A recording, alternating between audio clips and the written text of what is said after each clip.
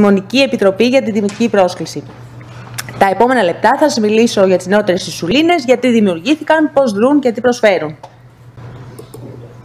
Η Ινσουλίνη. Η Ινσουλίνη είναι μια πεπτιδική ορμόνη, η οποία παράγεται από το β-κύτταρο των εισιδίων του Λάγκερας στο πάγκρεας. Το γονίδιό της έχει βρεθεί στο βραχή σχέλος του χρωμοσώματος 11, το οποίο μεταφράζεται σε προ-προ ινσουλίνη, η οποία προ-προ ινσουλίνη στη συνέχεια με κάποιες περικοπές μας δίνει τελικά την ινσουλίνη, που αποτελείται από δύο αλύσους και 51 αμινοξέα. Έχει μια γοητεία η ανακάλυψή της, οπότε θα κάνω μια παρένθεση, μια εισαγωγή μάλλον όσον αφορά την ιστορική αναδρομή. Το 69 λοιπόν, 1869, ο Πολ Άγκεραντς ήταν τότε φοιτητής ιατρικής, αναφέρει στη διατριβή του τα νησίδια του παγκρέατος, χωρίς όμως να ξέρει τη λειτουργία τους.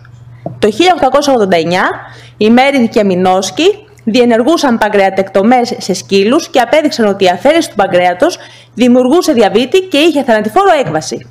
Το 1993, ο Γάλλος Έντον έκανε παγκρεατεκτομή σε σκύλο, μεταμόσχευσε ένα μικρό τμήμα του παγκρέατος κάτω από το δέρμα και είδε ότι το σκυλί δεν ανέπτυξε διαβήτη παρά μόνο μετά την αφαίρεση του μοσχεύματος. Το 1910 οι Μέγερ και Σαρπέι Σάφερ υποθέτουν ότι ο διαβήτης οφείλεται στην έλλειψη μίας και μόνο ουσίας που παράγεται από το πάγκρεας, την οποία ονόμασαν ινσουλίνη, από το ίνσουλα που σημαίνει νησίδιο. Και το 1922 έγινε η μεγάλη ανακάλυψη. Αυτή εδώ είναι η ομάδα που κέρδισε το βραβείο Νόμπελ για αυτή την ανακάλυψη της ινσουλίνης. Συγκεκριμένα, ο Μπέστ ήταν ένας γιατρός που μόλις τελείωσε την ειδικότητά του, άνοιξε ένα ιδιωτικό ιατρείο στο Τορόντο. Τους, τις πρώτες 28 μέρες δεν πάτησε ασθενής μέσα στο ιατρείο του. Τους επόμενους μήνες δεν πήγαινε πολύ καλά η δουλειά, νέος άνθρωπος, νέος, νέος στην περιοχή, άγνωστος, οπότε αποφάσισε να ασχοληθεί με την έρευνα. Εσίως βρέθηκες στο εργαστήριο του καθηγητή του, του Μακλόετ και με συνεργάτη τον Μπάντινγκ που ήταν τότε φοιτής ιατρικής και τον Κόλιπ ο οποίος ήταν βιοχημικός και στην ουσία ε, βοήθησε στο να καθαρίσει το μόριο της ισουλίνης, τελικά ανακάλυψαν την ισουλίνη. Ο πραγματικός όμως ο οποίος είχε δημοσιεύσει για αυτή την ορμόνη ήταν ο Παολέσκο που ήταν καθηγητής φυσιολογίας στο Βουκουρέστι, ο οποίος όμως και επειδή ήταν Βαλκάνιος και επειδή δεν είχε τα μέσα που είχαν στο Τορόντο, δεν μπόρεσε να προχωρήσει αρκετά γρήγορα αυτές τις εργασίες και έτσι η συμμετοχή του στην ανακάλυψη της ισουλίνης αναγνωρίστηκε 50 χρόνια μετά την έναρξη της ισουλινοθεραπείας και φυσικά μετά θάνατο. Είχε, είχε κάνει πρώτος δύο δημοσίευσεις στην ουσία. Γιατί ήταν τόσο σημαντική αυτή η ανακάλυψη; Όπως μπορείτε να καταλάβετε, τότε ο διαβήτης τύπου 1 που δεν έχουμε καθόλου παραγωγή ινσουλίνης ήταν μια σύντομη νόσος με θανατηφόρο έκβαση. Στην ουσία οι ασθενείς λιώνανε και πεθαίνανε και με την ανακάλυψη της ινσουλίνης αυτή η νόσος έγινε μια χρόνια νόσος και πλέον οι ασθενείς γυρνάνε με αυτή σε μεγάλη ηλικία. Το επόμενο μεγάλο βήμα, οι ινσουλίνες που χρησιμοποιούνταν στην αρχή ήταν χείρια και βόια. Το επόμενο μεγάλο βήμα στην εξέλιξη της παραγωγής ινσουλίνης ήταν το 1946 που είχαμε την παραγωγή και καθαρμένης ανθρώπινης ισουλίνης με λιγότερη αντιγονικότητα, λιγότερες αλλεργικές αντιδράσεις και μεγαλύτερη αποτελεσματικότητα. Στην πορεία σε αυτό το μόριο της ανθρώπινης ισουλίνης άρχισαν να γίνονται διάφορες παρεμβάσεις με στόχο τη φαρμακοκινητική ανάλογα τι θέλαμε.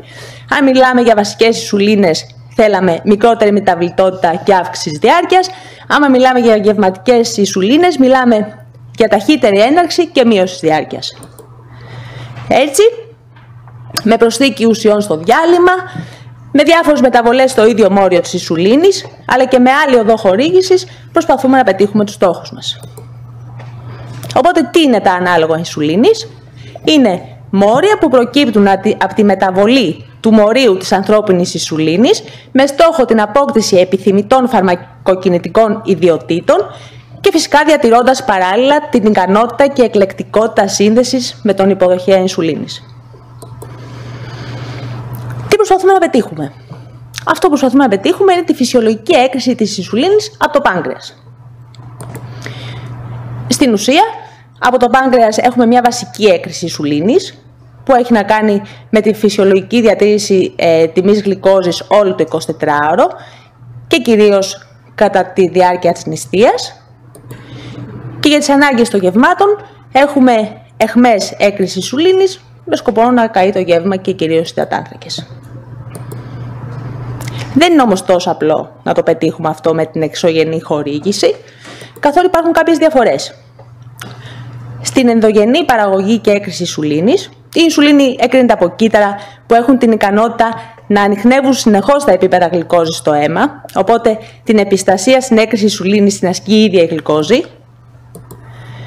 Διοχετεύεται ταχαίως στην πηλαία κυκλοφορία. Η συνεχής βασική έκρηση, παρόλο που εμείς την παρουσιάζουμε σε μία ευθεία γραμμή, δεν είναι ακριβώς έτσι, γίνεται κατά όσεις, ένα παράδειγμα, ας πούμε, η βασική έκρηση ισουλίνης είναι λίγο πιο ψηλή τις πρωινές ώρες λόγω του ότι είναι μεγαλύτερη αντίσταση στην ισουλίνη. Και η οξία έκρηση χωρίζεται σε δύο φάσεις, που η πρώτη είναι ταχεία και η δεύτερη φάση είναι βραδία. Όσον αφορά όμως στην εξωγενή χορήγηση, εμείς τη βάζουμε στο υποδόριο ιστό και απορροφάται σταθερά από εκεί και πέρα. Δεν υπάρχει επιστασία στην απορρόφησή της από το υποδόριο ιστό και ως προς τη δόση, την επιστασία, την ασκή, ο ασθενής με, με βοηθό το γιατρό του στην ουσία.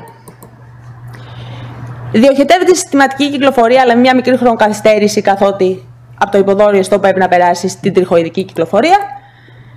Και η βασική απορρόφηση είναι χωρίς όσεις και η γευματική απορρόφηση είναι μονοφασική. Ας δούμε λοιπόν τις δύο διαφορετικές κατηγορίες. Θα ξεκινήσουμε από τις βασικές ινσουλίνες.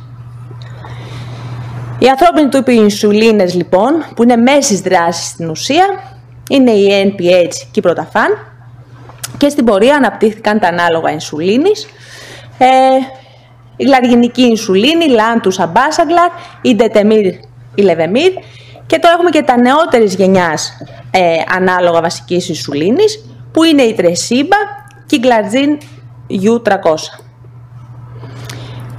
Γιατί αναπτύχθηκαν; Ε, τα πρώτα ανάλογα βασικής ινσουλίνης στην ουσία αναπτύχθηκαν για να ξεπεράσουν κάποιους περιορισμούς της ανθρώπινης ινσουλίνης. Έτσι βλέπουμε εδώ πέρα ότι η ανθρώπινη ινσουλίνη καταρχήν δεν έχει 24 ώρη δράση, οπότε πολλές φορές οπότε είναι υποχρεωτική στην ουσία μια δεύτερη ένεση. Βλέπουμε ότι έχει μια εχμή Οπότε έχει αρκετά ψηλή μεταβλητότητα.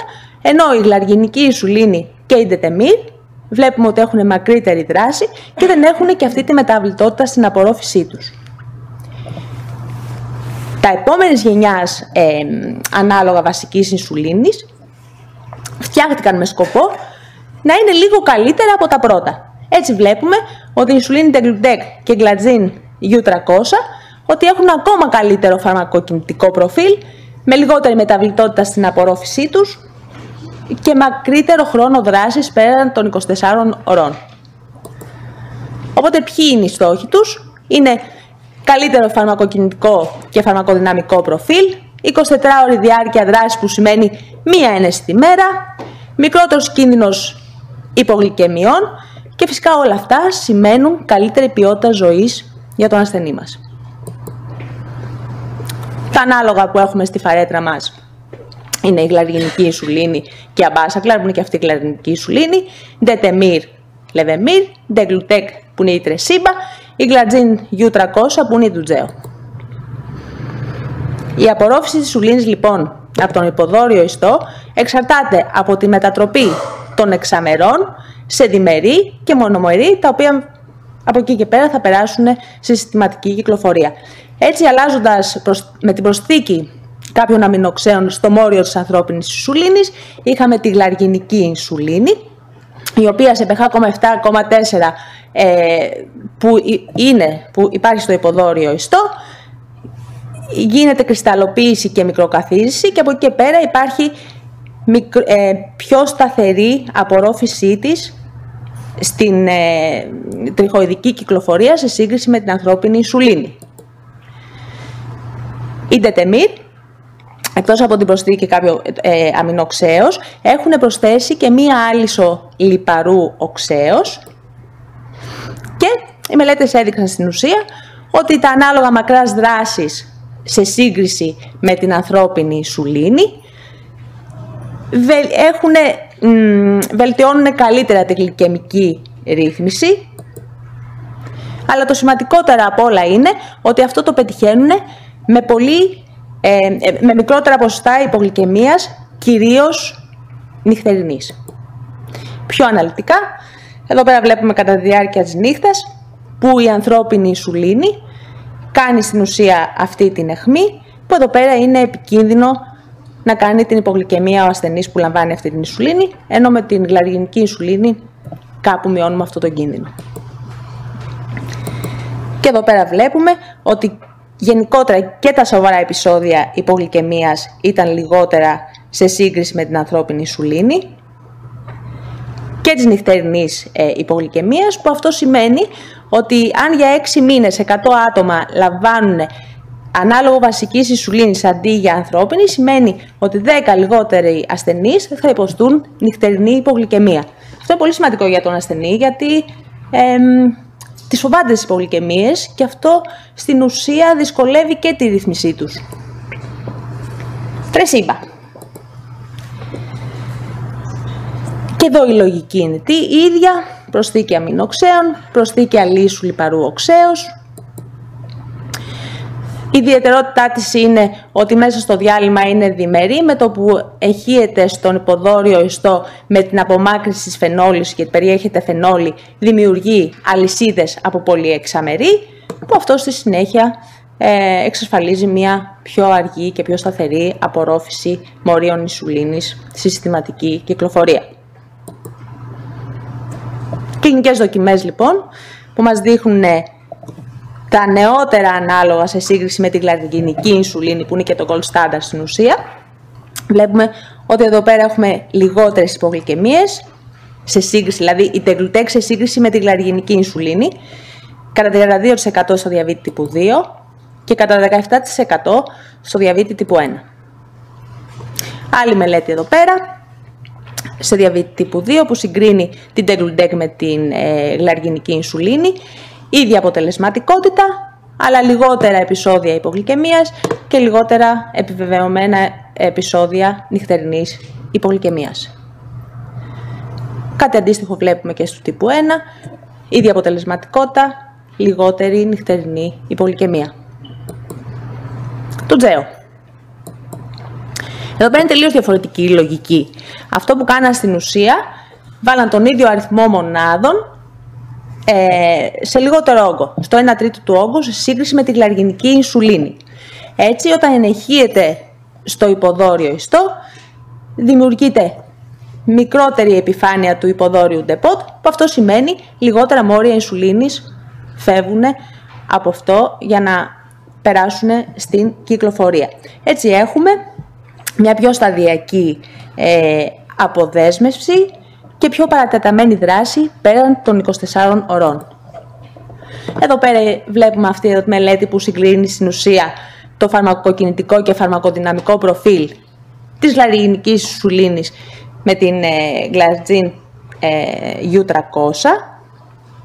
Όντως βλέπουμε εδώ πέρα ότι το φαρμακοκινητικό προφίλ είναι καλύτερο σε σχέση με την ε, γλαρινική ισουλίνη και αυτό το βλέπουμε και στις τιμές γλυκόζης. Στις μελέτες λοιπόν που έχουν δείξει, ε, που έχουν συγκρίνει τις δύο μελέτες, στην ουσία πάλι αυτό που βλέπουμε είναι ίδια αποτελεσματικότητα, πάλι με λιγότερες υπογλυκαιμίες, σε σύγκριση με την ε, γλαργινική ινσουλίνη. Οπότε, συμπερασματικά, ο λόγος που φτιάχτηκαν αυτά τα ανάλογα και τα πλεονεκτήματά τους είναι η μεγαλύτερη διάρκεια δράσης που σημαίνει μία ένεση τη μέρα, η πιο σταθερή δράση με μικρότερες εχμές που σημαίνει λιγότερες υπολικεμίες, τα μειονεκτήματά τους είναι η λιγότερη ευελιξία και ενδεχομένως το κόστος. Πάμε τώρα να δούμε τα ανάλογα ινσουλίνης ταχείας δράσης. Τα ανάλογα ινσουλίνης ταχείας δράσης είναι γευματικές ινσουλίνες. Χρησιμοποιούνται για να κάψουμε το γεύμα. Όσον αφορά τις ανθρώπινου τύπου, έχουμε τη regular και την actrapid. Την actrapid την ξέρουμε πολύ, τη χρησιμοποιούμε πολύ στο νοσοκομείο μας. Και από εκεί πέρα έχουμε τα ανάλογα ινσουλίνης, που είναι η Lispro, Humalog, Aspart που είναι η Novorapid, η Glulizin που είναι η Apidra και τώρα τελευταία έχουμε στη φαρέτρα μας και ένα υπερταχείας δράσης ανάλογο που είναι η Fiasp. Επίσης τα ανάλογα ινσουλίνης φτιάχτηκαν με αυτό το σκοπό για να ξεπεραστούν κάποιοι περιορισμοί της ανθρώπινης ινσουλίνης η οποία έχει μια έναρξη δράσης στα 30 λεπτά δηλαδή αργεί λίγο η μέγιστη δράση της είναι στις 2-3 ώρες, δηλαδή λίγο μετά από το peak της γλυκόζης και η διάρκεια δράσης είναι 5 με 8 ώρες, δηλαδή πάλι είναι καθυστερημένα που εκεί πέρα κινδυνεύει ο ασθενής να πάθει υπογλυκαιμία. Οπότε κοιτάξτε να δείτε τώρα ένα ωραίο σχηματάκι για να το καταλάβετε. Αυτή είναι η φυσιολογική έκρηση ινσουλίνης από το πάγκρεας, κατά τη διάρκεια ενός γεύματος. Αυτή είναι η ανθρώπινη ινσουλίνη, ακτράπη για να καταλάβετε, κρυσταλλική ινσουλίνη η οποία βλέπουμε ότι και καθυστερεί να δράσει και είναι πολύ πιο μετά η αιχμή της και πολύ μεγαλύτερη η διάρκεια δράσης της. Τα ανάλογα ινσουλίνης, Humalog, Apidra, Novorapid, τα πάνε λίγο καλύτερα, δηλαδή πλησιάζουν πιο πολύ τη φυσιολογική έκρηση του πακρέατος ε, της γευματικής ινσουλίνης και το υπερτραχίας ανάλογο είναι, μιμείται, προσωμιάζει ακόμα καλύτερα αυτή την έκρηση. Είναι αυτή η ημοβγραμμή. Η λογική, το πώς φτιαχτήκαν αυτά τα ανάλογα, είναι πάλι η ίδια. Αντικαταστάσεις αμινοξέων με βάση τις ελαπιδράσεις που ασκούνται μεταξύ των μονομερών και διμερών. Αυτό που προσπαθήσαν να κάνουν είναι να μειώσουν τις ελκτικές και να αυξήσουν τις αποθητικές δυνάμεις μεταξύ των μονομερών, που αυτό σημαίνει ταχύτερη απορρόφηση. Να μην σας κουράσω, τα τρία ανάλογα τα γνωστά, με αντικαταστάσεις κάποιων αμινοξέων, αντιστοίχως. Και εδώ πέρα βλέπουμε το φαρμακοκινητικό προφίλ της Λίσπρο, σε σύγκριση με την ανθρώπινη ινσουλίνη, της Γκλουλιζίν πάλι σε σχέση με την ανθρώπινη ινσουλίνη και της Ασπάρ πάλι σε σχέση με την ανθρώπινη ινσουλίνη. Τι καταφέραμε; Και εδώ πέρα έχουμε λιγότερα επεισόδια υπογλυκαιμίας, καλώς και καλύτερη ρύθμιση,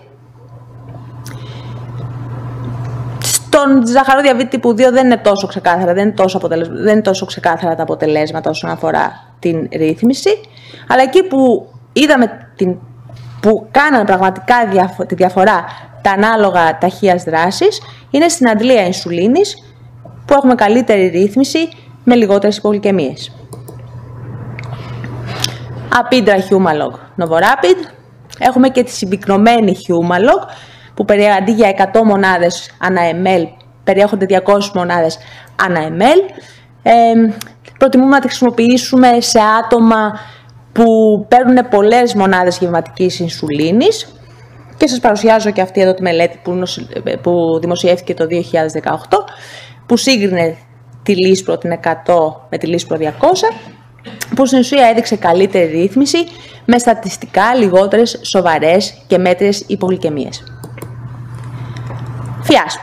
Κυκλοφορεί εδώ και αρκετούς μήνες και στην Ελλάδα. Είναι η νοβοράπη στην ουσία, που της προσθέσανε ε, βιταμίνη Β3 και ένα μινοξί. Και αυτό είχε ως συνέπεια να παρουσιάζεται πιο νωρίς συστηματική κυκλοφορία σε σύγκριση με την ε, Εδώ πέρα βλέπετε ότι η ΦΙΑΣΠ έχει από τη στιγμή της ένεσης εμφανίζεται μέσα σε 5 λεπτά σε συστηματική κυκλοφορία. Ε, ε, από τη στιγμή της ένεσης ε, είναι πολύ μεγαλύτερη η ποσότητα που βλέπουμε ε, στη συστηματική κυκλοφορία. Και το ίδιο βλέπουμε και ότι ισχύει και για τα πρώτα 15 και τα πρώτα 30 λεπτά μετά την ένεση. Όσον αφορά την αποτελεσματικότητα, φάνηκε ότι η ΦΙΑΣΠ είναι λίγο πιο αποτελεσματική από την Novorapid και το ωραίο αυτής της μελέτης είναι ότι φάνηκε ότι είναι εξίσου αποτελεσματική και όταν χορηγείται και μετά το γεύμα. Θα κάνω και μια αναφορά στα μείγματα που έχουμε. οι ανθρώπινοι, τα μείγματα στην ουσία είναι... Ε; Ναι. Ε, είναι ε, συνδυασμός ταχείας, ινσουλίνης ταχείας δράσης με μέση ή μακράς δράσης. Τα καινούργια μείγματα είναι η Novomix που περιέχει ασπάρτ με NPH, η Humalog που περιέχει λίσπρο με NPH και η Humalog 50 που είναι πάλι λίσπρο με NPH. Στην Αμερική κυκλοφορεί και η Αφρέζα, η οποία είναι η σπνεόμενη σουλήνη. Βρίσκεται μέσα στη συστηματική κυκλοφορία μέσα σε ένα λεπτό. Θέλω να σας θυμίσω ότι το 2007 είχε κυκλοφορήσει και στην Ελλάδα η σπνεόμενη ε, ινσουλίνη με το όνομα Εξούμπερα, η οποία όμως μετά από λίγους μήνες η κυκλοφορία της διακόπη. Σύμφωνα με την εταιρεία διακόπη επειδή ε, ήταν ασύμφορη οικονομικά. Σύμφωνα με τον ΕΟΦ παρατηρήθηκαν κάποια περιστατικά CA πνεύμονα. Ήταν 7 τα άτομα που ανάπτυξαν CA πνεύμονα. Βέβαια δεν ήταν ξεκάθαρα τα δεδομένα από τη στιγμή που αυτοί οι ασθενείς ήταν και καπνιστές. Να δούμε αυτήν τώρα τι θα γίνει.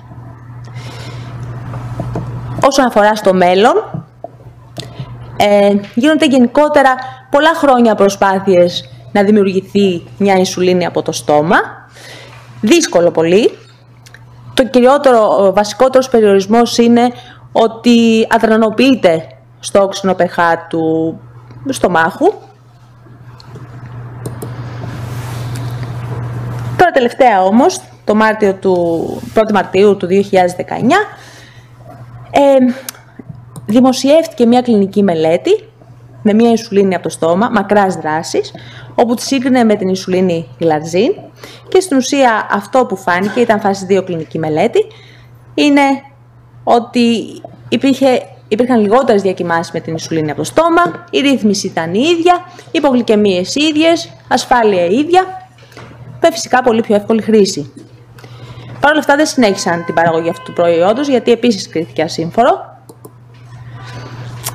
Και το άλλο τέλος πάντων που έχουν σκεφτεί που επίσης είναι σε πειραματικό στάδιο είναι να βάλουν την ισουλίνη μέσα σε μία καψουλίτσα μέγεθος βατόμουρου η οποία έχει την ικανότητα από τη στιγμή που την καταπίνεις να προσανατολιστείς σωστά έτσι ώστε μια μικροβελώνα που έχει εδώ πέρα να κολλήσει στο βλενογόνο του στομάχου και να περάσει η ινσουλίνη στη συστηματική κυκλοφορία. Ω τώρα υπάρχουν μελέτες μόνο σε πειραματόζωα. Η έμπνευσή τους ήταν αυτή η χελώνα ε, που βρίσκεται στην Αφρική, η οποία όντως και όταν αναποδογύριζε έβρισκε τον τρόπο να προσανατολιστεί σωστά. Επίσης σε πειραματικό στάδιο είναι η έξυπνη ισουλίνη, ένα διαδερμικό επίθεμα ε, με ταχεία γλυκόζωεξαρτώμενη έκρηση ινσουλίνης.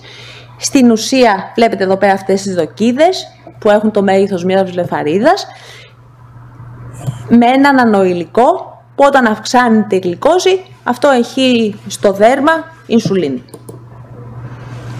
Πότε χρησιμοποιείται γενικότερα η ινσουλινοθεραπεία; Έχει απόλυτη ένδειξη στο ζαχαροδιαβήτη τύπου 1 που αυτή τη στιγμή δεν έχουμε κάτι άλλο ε, για να το αντιμετωπίσουμε. Στο ζαχαροδιαβήτη τύπου 1 έχουμε απόλυτη ινσουλινοπενία.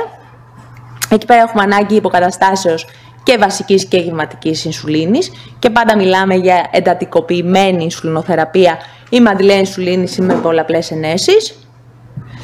Στο ζαχαρόδιαβήτη τύπου 2 που έχουμε σχετική ινσουλινοπενία, ο ζαχαρόδιος διαβήτης από τη φύση του η φυσική του πορεία είναι κάποια στιγμή να χρειαστεί ινσουλίνη. Συνήθως αρχικά έχουμε ανάγκη υποκαταστάσεως της βασικής συνιστώσας και στην πορεία ακολουθεί η γευματική συνιστόσα όταν δεν επαρκούν οι λυπή παράγοντες. Αυτά ήθελα να σας πω. Ευχαριστώ πολύ για την προσοχή σας. Ευχαριστούμε την κυρία Πέτσιου, η οποία μας έδωσε όλα τα δεδομένα για το τι νεότερο. Η όλη λογική των αλλαγών είναι η φαρμακοκινητική των ινσουλινών σε μια προσπάθεια προσωμείωσης της φυσιολογικής έκρησης της ινσουλίνης έτσι, με τα διάφορα συστήματα. Πιστεύω η τεχνολογία θα μας βοηθήσει σε σημαντικό βαθμό στο μέλλον. Ε, απορίες, ερωτήσεις, σχόλια; Παρακαλώ.